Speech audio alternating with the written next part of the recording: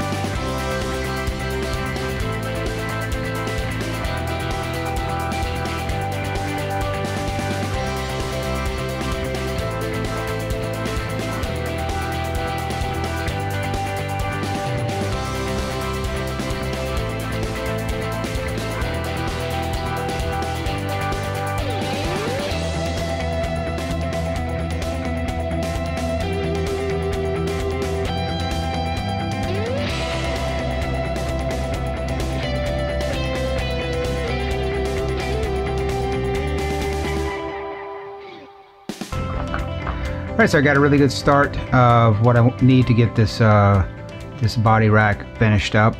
Uh, so what I ended up finding is some uh, square tubing that slips inside uh, some other pieces of square tubing. So I have two of those, and they'll go together like this. Um, then what I'll have are these two pieces on the end, which will be the the feet, so to speak, for each end. So so you'll have those soldered together. Then what I'm going to do is have uprights. And I'm probably going to put them toward the end. I'm probably going to take a little bit, few measurements, but I think toward the end should be fine. And that'll give me the general idea of what I'm looking for. Now I'll have to come back in and add some bracing here and there.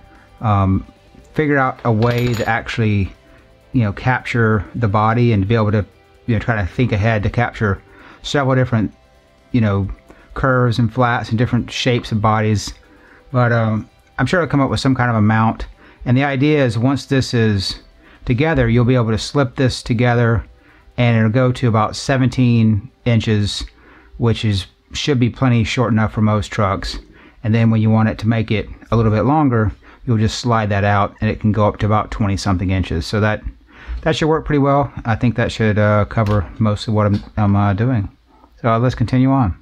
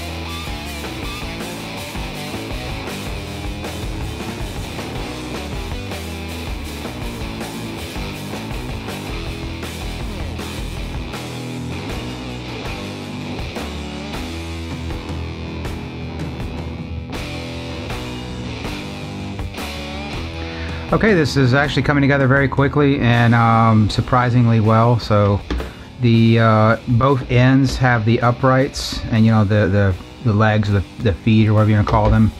Um, and then I just put in this little cross brace. Probably doesn't need it. I mean, it does add a good bit, but it's so thin that I'm not really sure how much it's going to make a difference. It's really just for looks. But um, I also added in just two little pieces on these longer sections. And what that'll do is when it's on the ground it'll you know provide a little bit of support in the middle so it won't sag. And I'm not really overly worried about that. It's just that I'm afraid if it sits over time and sags then it'll be hard for this to uh, slide in and out. So just trying to protect from that. The um, the top I still have to come up with a way to get the body to sit because right now what you'll do is you'll make this you know just about the length and like I said you can slide this in and out set it whatever length you want but I need something to really catch it. And I think what I'm end up using is this thicker um, you know rectangular stock here. And so I think the idea is will be to put it right on top of the post and then on each end I'll bend up a little tab so it can't slide and that'll give me a pretty wide gap. So if the front end is curved or, or whatever it can still catch it at you know the, the different widths you have. And I just silver soldered that right on the top and you know do one for each. And I think that's pretty well going to wrap it up other than uh, putting a coat of paint on it. So uh, just like I said it's coming together really quickly and uh, really happy with how this is turning out. So just uh, you know show that you can take you know what you have laying around. In my case, it was a big pile of uh, K&S metals, and uh, you know really quickly fabricate up some uh, whatever you need for your scale workshop. All right, so let's uh, get this thing finished up.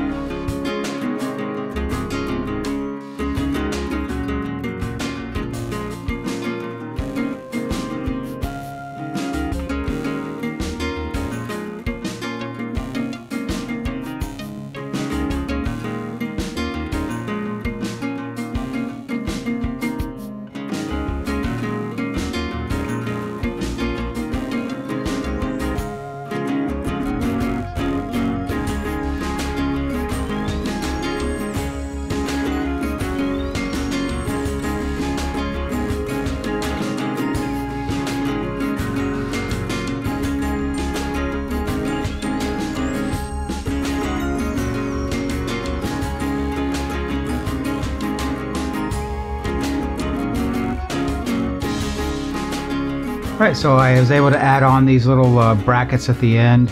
And in the end, I just made something pretty simple. Uh, just took the, the thicker uh, pieces of brass and uh, bent them on both ends in the vise. Uh, silver solder right on top, and, and that works just fine.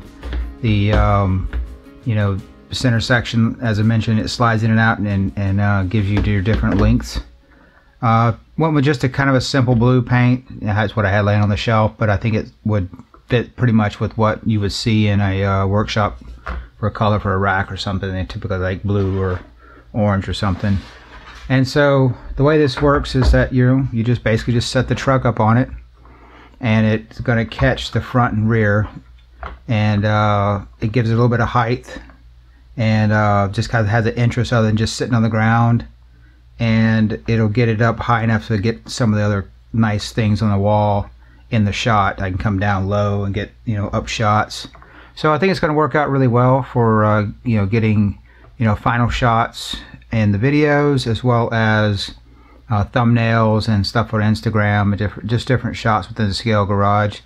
So just kind of show you can take something and uh, without a whole lot of effort and uh, not a whole lot of material and just you know kind of think it through and and uh, you come up with a little small something like this it's going to look really good in your scale garage. So looking forward to getting on to other projects uh, especially finishing up this uh, blazer here. But until then we'll see you on the rocks